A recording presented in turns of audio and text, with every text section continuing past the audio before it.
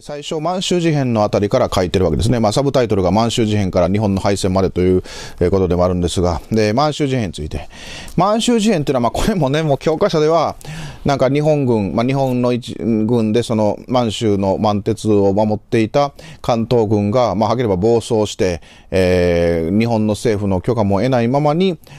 満州へ攻め込んで満州国という勝手な国を作った、傀儡政権、操り人形みたいな国を作った、まあそういう話でもうまかり通ってるわけでございますが、じゃあなんでそんなことをしたのかと。ね。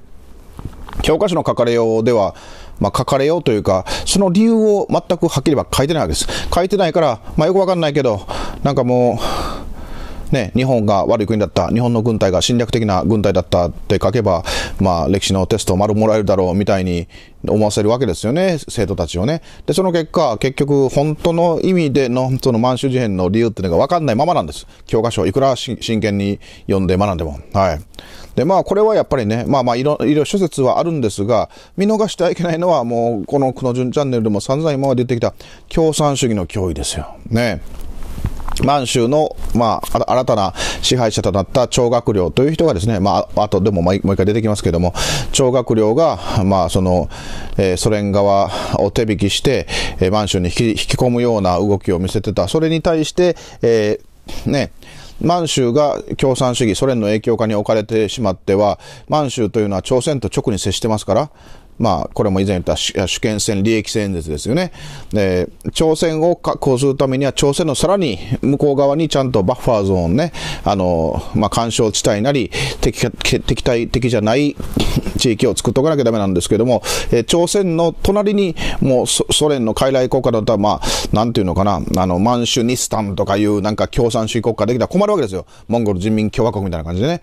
世界最初の共産主義国家はソ連。でも、世界2番目の共産主義国家がモンゴルだったわけです。で、3番目に、えー、モン、あの、ま、満州ニスタンになっては困るわけですね。え、だから、満州を、そういう、あの、共産主義じゃない地域にさせておくために、他、そうでない国を作るために、で、それこそが満州国だったわけですけど、えー、それで行動を起こしたのが、これ満州事変ですね。別にその過程も含めてですね、日本が何でも正しかったとは言いません。でも日本の自衛のためであったことは疑いないところであります。だから、だからですよ。それを考えるとですね、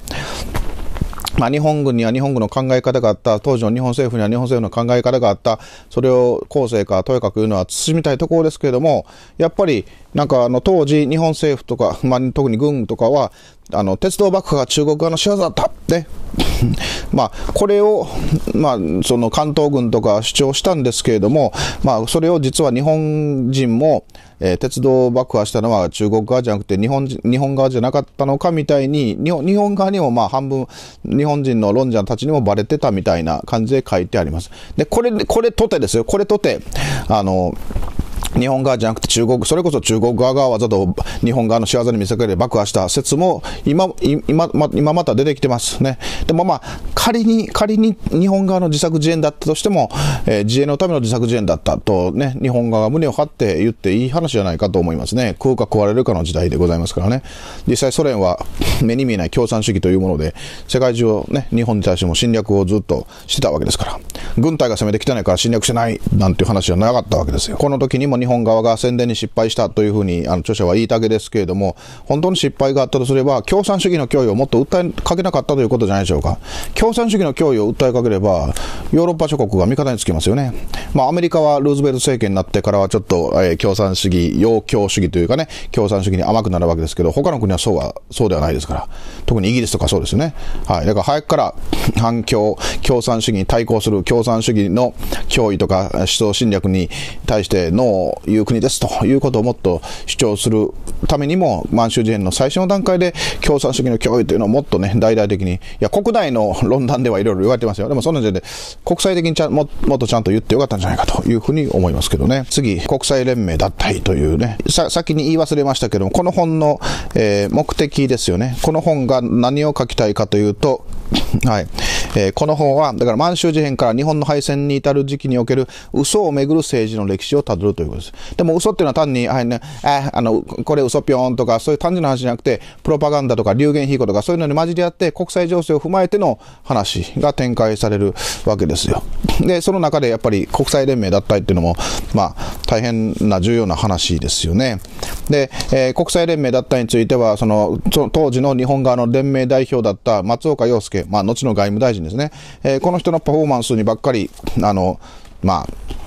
焦点が、あの、当たるというかですね、焦点が当たるとか、あるいは、あの、まあ、せいぜい、中国国民党の代表、当時の中国の政権家の代表が、まあ、日本軍が侵略してますとね、日本の侵略で、一方的な侵略ですというプロパガンダ、そういうものでは、まあ、まあ、中国側がガンガン情報戦やってたとか、そういうことは取り上げられるんですけれども、ね、あの、やっぱり、えー、当時、あの、国際連盟脱退した当時というのはですね、総共、中国は総共戦の真っ只中だったわけですよ。ね。つまり、えー、第一次国境合作といって、えー、まあ、孫文の時代に、えー、共産党が、まあ、国民党にすり寄る形で、で、あるいはソ連からそれで、こう、一緒にや、一緒になれというふうに、うん、商用される形で、国境合作、国民党、蒋介石と共産党、まあ、後に毛沢東が実権握るわけですけど、その協力関係ができました。えー、しかし、その協力関係の中で、えー、共産党勢力は国民党の内部を食い荒らしていくわけですね。教育制度とかを乗っ取ったりとかしてね、広報軍艦学校とかでも共産主義将校を育てていくわけですよ。そんなことばっかりされてたから、これは共産党と一緒にやっていけないということで、1927年に上海クーデターっていうのがあって、蒋介石が共産党員を、あの、政権中枢から追い追い出したのみならず、まあ、あの、共産党勢力というのをこう各地で討伐していくわけですね。それを総共戦というわけです。はい。で、この真っ只中だったので、結局、本来は国民党の蒋介石は日本なんかと戦いたくなかった。だから日本と中国国民党はまあ仲良くすべきだったんだろうし、えー、お互いそう思ってたんですけど、そこでやっぱり中国共産党なりそのバックにいるソ連がですね、えー、あの、日本と中国国民党が 戦いになるように、あるいは仲悪くなるように仕向けを仕向けようとしてたわけです。だから満州事変の時も実際は満州事変が起こった直後はですね、満州でいろいろあるみたいだけれども、蒋介石は共産党をやっつける方を優先して、えー、日本軍の、ま、満州事変というのをそ、そんな徹底抗戦はしなかったわけですね。はい。あの、当時満州の王者だった張学良、これは、あの、蒋介石のナンバー2だったわけですね。国民党の政権のナンバー2だった張学良にも、えー、日本軍に、あの、対して戦いを挑まずに、すぐに撤兵しろというふうに命令してるわけですよ。はい。まあ、それに対して中中国共産党とかが、なんか、あいつは不抵抗将軍だとか言って、なんかこう、散々なじってね、あの、もっと戦いけしかけるわけですけれども、はい。だからそういう側面、そういう側面で満州事変とか満州国とかを、の、あの、前後を見ていかなきゃいけないところがあるはずなんですね。まあ、この著者も実は、松岡洋介がなんか格好つけて国際連盟を脱退したがってたどころか、松岡洋介はむしろ国際連盟脱退反対だったし、えー、政府中枢にも外務省にも、そんな脱退すべきだなんて強硬に言う人はいなかったのに、えー、日本はまあ、そういう中国のプロパガンダとかもあって、えー、国際情勢を沈静化させるために連盟を脱退した。実際その後沈静化したという、まあ、親切というか、まあ、我々からすれば親切というよりか、普通にそう見てほしいなという議論なんですけど、それをまあ、ね、研究所で提示してくれてるわけです。だからそういう意味では、井上教授はあり、まあそういうありがたい議論をしてくれてるわけですけれども、もう一歩踏み込んで、共産主義勢力の方も、ちょっと言及してくれたらなとやっぱり思いましたね。はい。で、それと、あとは、まあこれも教科書で出てきますね、天皇機関説問題。えー、天皇というのは国家の、まあその政治制度上、あの、日本の国体上は、いざ知らず、政治制度上は国家の一機関であるというね、そういう捉え方をしてた天皇機関説というのが当時憲法学会では通説だったわけです。ところが、えー、それがまあ、あの民族派右翼のような方々から、で、大まあ、貴族院議員にもそういう方がいたわけですけれども、えーそれの、あの、首相者だった見延達吉が、天皇機関説の首相者だった見延達吉が、あの、攻撃されるというね、そういう事件が起きるわけです。で、見延達吉が貴族院議員を辞めさせられた。だから、学問とか言論の、えー、に対しても、すごい弾圧とか、そういう抑圧がこの頃から、あの、強くなってきたんだっていう話でよく出てきますよね。まあ、これ戦争と嘘、戦争ではないんですけれども、戦時中のそういう、あの、風潮という意味では大変やはり重要なな事件です。ただ、これは当時軍国主義、まあ日本が軍国主義の国で軍国主義によってこういうまっとうな、あの、学説が排斥されたという見方はやはりもう、まあ、不正確というか、古いというかね、まあ、従来の歴史教科書は何でもかんでも当時、軍国主義だったからっていうのが枕言葉につくわけですけど、軍国主義じゃなくて、それこそ、あの、江崎道夫先生とかの言葉を借りれば、右翼全体主義じゃないでしょうかね。右か左かで言えば右なんだけれども、でも全体主義的な考え方を持ったがために、あの、なんかこう、変に、悪い意味で国粋主義的な、あの、ものばっかりこう追求するような議論で、えー、本来国を守ってくれるはずの議論とか制度を攻撃し始めた勢力がいたわけですよ。で、それは一周回って共産主義、反天皇の共産主義と同行になっちゃうわけですよね。全体主義的な発想というものが。で、だから結局、あの、こういう天皇機関説を攻撃したのは軍国主義なんじゃなくて、その、右寄りの人たちの一、一、右寄りの人たちの中でも一部そういうわきまえのない人たちが、なんか共産主義者、共産主義勢力を利するような形で、ね、喜ばせるような形でこういう主張をしちゃったというね、そう、その構図が重要なんじゃないでしょうかね。本当にプロパガンダとかでの話をするんだったら、そこに言及しないと、あの、天皇機関説問題をここで取り上げた意味がなくなっちゃうと思います。さて、いよいよ中国の戦争、本格戦争に行くわけですが、えー、シナ事変、ね、露光橋事件から始まった中国の全面戦争の前段階で重要な事件だった西安事件というのが、えー、昭和11年に起こります。226事件と同じ年ですね。えー、これは、さっきから言ってますけれども、当時の中華民国の政権側の、まあ、蒋介石という人物がいて、で、これが、あの、共産党でいよいよ実権を握った毛沢東と、あの、毛沢東を総教戦で追い詰めてたわけですね。最後、円、あの、先西省、ど田舎の方の延安というあたりで、えー、まあ、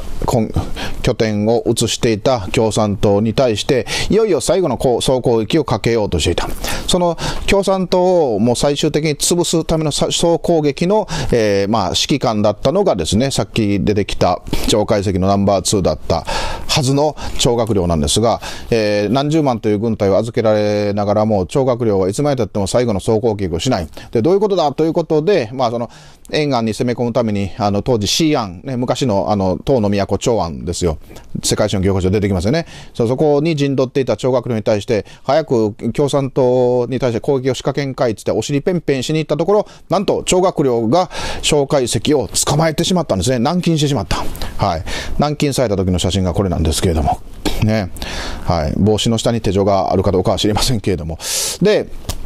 えー、そんな事件が起きました。で、その事件のことをこの本ではですね、えー、1936年12月中旬、中国東北軍の張学良らが内戦停止一致抗日を求めて蒋介石を監禁したのが新安事件だと書いていますが、えー、これだけの、他、他の本だったら言い出知らずね、戦争と嘘、プロパガンダの本なのに、新安事件はこんなね、あなんかこうプレ、プレ、プレーンっていうと言い方なのかな、なんかのんべんだらりとしたって、関西で言いますけどね、そんな書き方しちゃダメでしょう。で、なぜかっていうと、えー、まあ結論から言うと、聴学料はね、まあ40スパイだったわけですよ。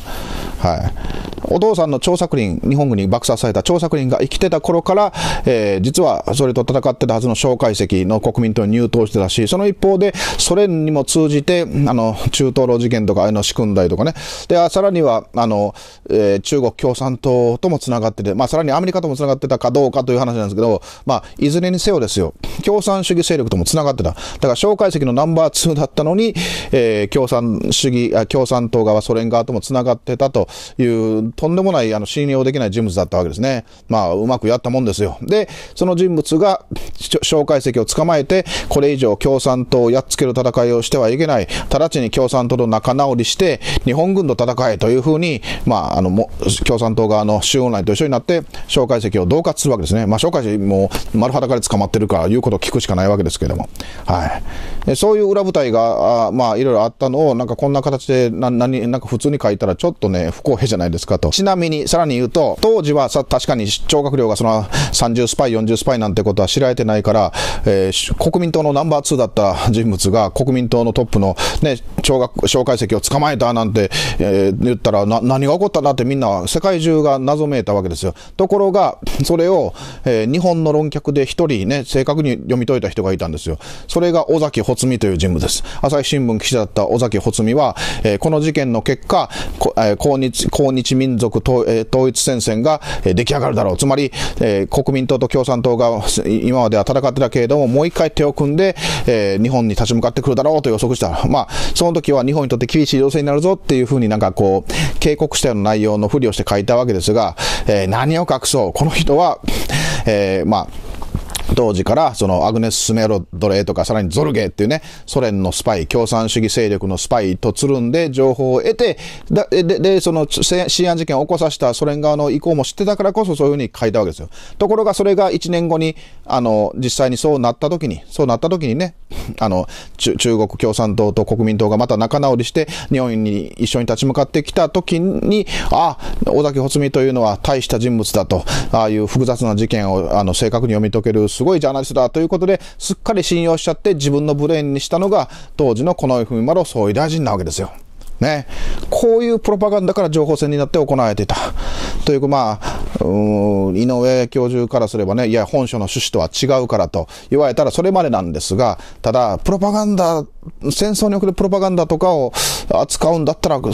このことをね、まあ、井上教授の主張とか意見は、まあ、いろいろあるかもしれませんけど、触れないというのは、やっぱりちょっと不公平なのかなという気がしますよね。まあ、それに加えて、西安事件の時にそうやってね、蒋介石が同化されて国民党と共産党がすでに仲直りしてるわけですが、盧溝橋事件を経て、で、盧溝橋事件はまだ北京郊外だけですけど、その次、第二上海事変といって、上海にも戦火飛び火して、日本軍が引くに引けなくなって、内地から二個師団増派、何万もの部隊を、えー、中国大陸に送るということになった。そで、つまり中国側にとっては、日本軍が大挙して攻めてきたぞって、こう、プロパガンダできるタイミングで、実は、まあ、日本軍がこれだけたくさん攻めてきたから、我々これまで揉めていた、えー、国民党と共産党も仲仲直りしましたって言って、この時にね、